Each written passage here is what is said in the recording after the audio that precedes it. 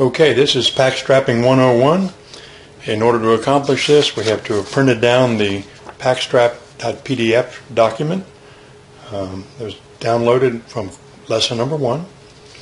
We need our cigarettes, a scissors, a piece of rubber band, and a small pencil.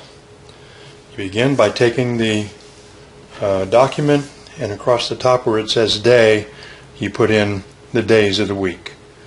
Um, today is Friday, so I'll start here with Friday, Saturday, Sunday, Monday, Tuesday, Wednesday, Thursday.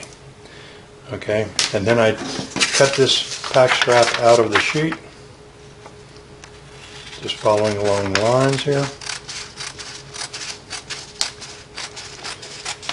Simple enough.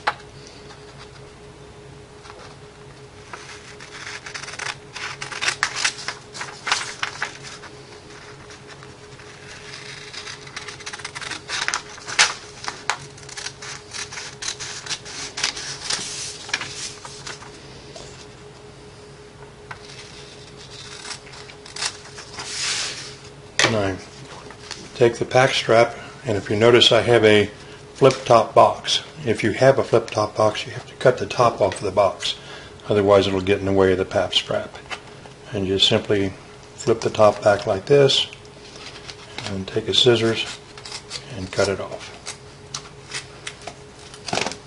Like so. Then we wrap, we wrap the strap around the box, around the package, like so, securing it in place with the rubber band.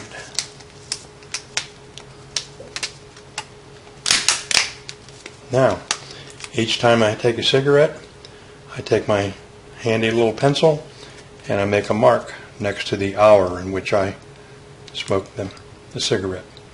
Or if I had a meal, I would mark in there B for breakfast, L for lunch, or D for dinner. I keep my pencil handy by putting it in in place of a cigarette in my pack.